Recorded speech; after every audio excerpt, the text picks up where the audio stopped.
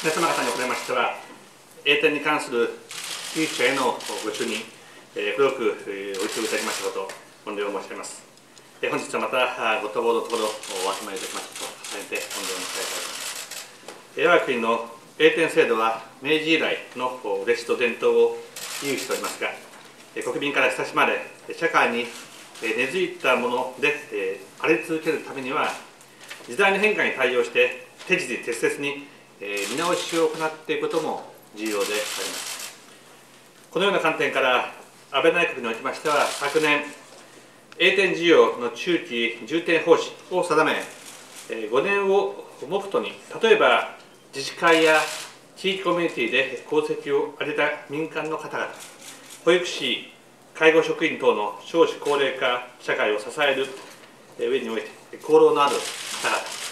我が国に対して功労のある外国人の方々などへの事業数の増加を図ることといたしました。本年春の叙勲で受賞された方の数は初めて民が官を上回りまし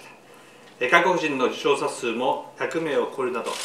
現在この方針に沿って一つ一つ見直しを実行しています。皆様には、栄転制度全般につきまして退職交渉からご意見を賜り、制度の制度のより公正な運用に生かしてまいりたいと考えておりますのでよろしくお願いを申し上げます。